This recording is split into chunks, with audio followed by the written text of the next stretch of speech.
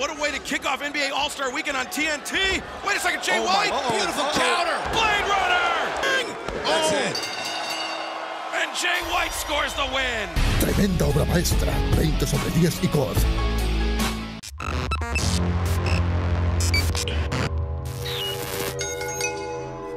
El Chumanacos, bienvenidos a otro video, espero que tengan un feliz sábado y como verán en el título vamos a hablar de todo lo acontecido anoche en AEW Rampage Slam Dunk en horario especial. Agarró fuera de base a mucha gente este episodio de AEW porque arrancó mucho más temprano de lo que normalmente es. Me parece que cuando normalmente AEW Rampage arranca luego de SmackDown, ahora fue al revés empezó antes del show azul de WWE. Pero en fin, un Rampage con cosas interesantes. Teníamos combates por el Face of Revolution y teníamos el main event para ver a Jay White enfrentarse a Trent Beretta. Así que vamos a hablar de todo a continuación. El episodio arrancaba con el combate de Ten de Dark Order enfrentándose a Adam Cole. Creo que sí, un poquito predecible el resultado, pero yo estaba interesado en ver el buqueo porque, brother, digo, Ten es un tipo súper mamado, más grande que Adam Cole. Quería ver cómo se iba a buquear, cómo se iba a producir este combate. Y creo que fue interesante la manera en que ganó Adam Cole, no solo por el foul del final, sino porque Digo, clásico combate entre un tipo bajo contra uno alto, empezar a castigar las extremidades inferiores para tratar de alguna manera de ir quitándole o restándole fuerza al oponente. Fue entretenido el encuentro, fue bastante cool. Creo que dejaron a Ten, para mí, en buena posición. No fue enterrado, porque esa es la palabra de moda. No fue enterrado. Eh, Ten dominó bastante del encuentro. Adam Cole obviamente empezó a hacer su marrullería en un momento, en un spot, eh, el árbitro queda de espalda en el esquinero para no golpearse con Adam Cole y Adam Cole aprovecha ya que Ten lo tenía en el Nelson completo le hace un foul y con eso procede a hacer el boom y llevarse la victoria era obvio que se le iba a llevar a Adam Cole pero por lo menos Ten digo yo que no quedó mal esto lo hicieron obviamente para proteger la credibilidad de él él tenía de los últimos 10 combates había ganado 9 eh, 10 de Dark Order así que no quedó tan mal. Acá se lleva entonces la victoria Adam Cole y ya como que se confirma que Adam se va a enfrentar a Hammond Page por el campeonato mundial de AW en Revolution. Se viene bueno este combate. Eh, obviamente Adam Cole se está enfrentando a The Dark Order porque en teoría son amigos de Hammond Page y lo están tratando de hacer un poco más personal. Yo creo que tienen que meterle ganas, echarle ganas a este feudo porque, digo, faltan, ¿qué? dos, tres semanas. Así que por lo menos pueden trabajar una buena historia entre Adam Cole y Hangman Page. Pero a nivel de cuadrilátero, wow, puede ser un combatazo. ¡Cállese y tome mi dinero! Bien, hablemos del combate eh, por Face of Revolution, un espacio en la lucha de escalera. Se enfrentaba Powerhouse Hobbs contra Dante Martin. Dante Martin intentó, no se puede decir que no lo intentó, pero eh, Powerhouse Hobbs, como lo dice su nombre, es un powerhouse, es bien fuerte, bien mamado, así que al final se lleva la victoria y avanza a lo que es la lucha de Face of Revolution. Interesante propuesta la de AEW hasta el momento en este combate, porque si no me equivoco, si no estoy mal, los tres luchadores que han avanzado son Powerhouse. Warlow, Kid Lee y ahora Powerhouse Hobbs. No recuerdo haber visto en AEW una lucha de escaleras con puros Powerhouse. Me imagino que tienen que meter a uno que otro High Flyer porque creo que la gracia de una lucha de escalera es ver de repente movimientos aéreos, aunque Warlow sabe de movimientos aéreos, Kid Lee también sabe, eh, y Powerhouse Hobbs yo creo que también tiene lo suyo en lo que es eh, la lucha aérea. Así que se pinta interesante, se pinta interesante el combate. Ya tenemos entonces a tres clasificados. Todavía faltan más combates eh, para determinar a los demás participantes de esta lucha en Revolution. Pero hasta el momento me han sorprendido los que clasificaron para esta lucha. Bien, por ahí tuvimos un pequeño segmento de Serena Deep, eh, segmento combate, em, ahí ese de que el 5 Minute Challenge o el 5 Minute Rookie Challenge, donde ella se enfrenta a cualquier debutante y trata de vencerla en menos de 5 minutos. Anoche lo hizo, eh, creo que se llamaba Angelica Risk.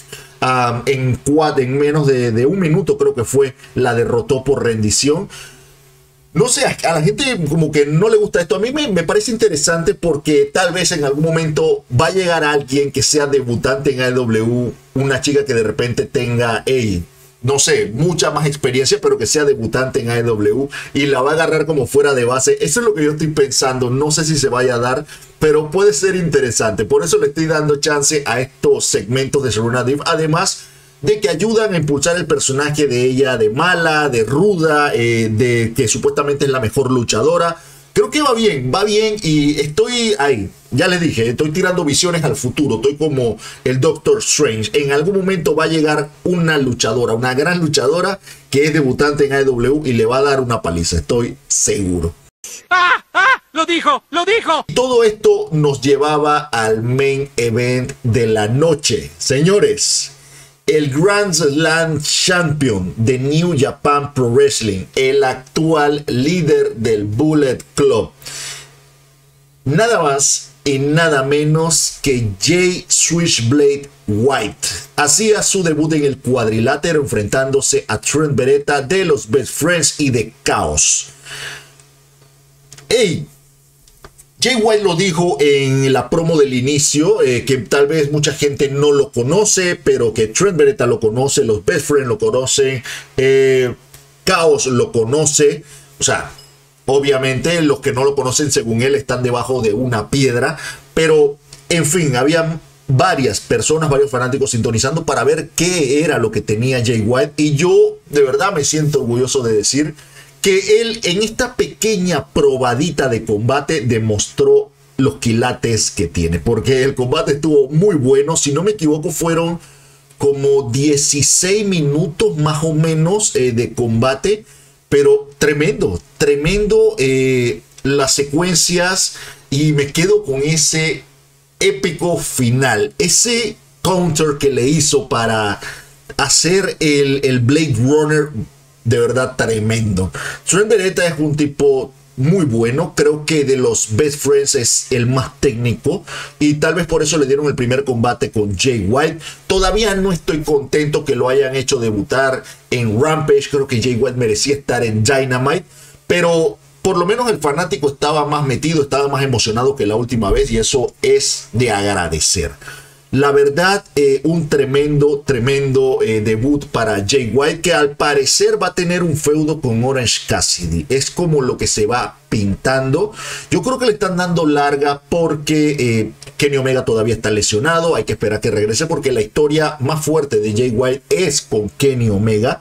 Y tal vez de repente un poquito con los Bucks, pero la historia más interesante es la de Kenny Omega y le están dando tiempo. Tal vez por eso Jay White está yendo poco a poco.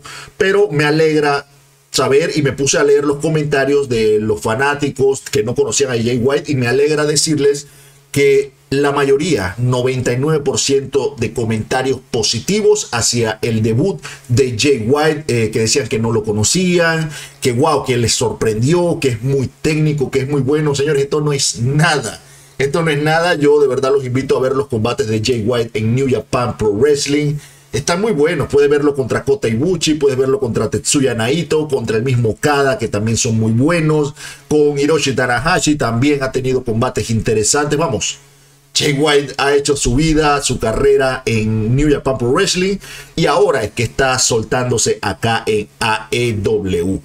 Así que así terminaba AEW Rampage. Para mí, muy completo, eh, muy bueno, cosas interesantes y ese main event, brother de calidad. Un main event de calidad. De puntuación yo le voy a poner un 8.5. Eh, muy buena puntuación para IW esta semana, la verdad. Tanto Dynamite como Rampage creo que cumplieron al 100%. Lo que no cumplieron fueron los comentarios, los comentaristas. Yo tenía rato que no veía IW en español y uff. Difícil, o sea, yo no soy de criticar la verdad, pero wow, complicado tener comentaristas los cuales el español no es su idioma nativo. Es muy difícil. No me acostumbro a escuchar el golpe, la espalda, eh, lo bajó para abajo. O sea, no sé, no me acostumbro a esa clase de narración. Pero en fin, si lo ves en mute o si lo ves en inglés, yo creo que lo disfrutas más.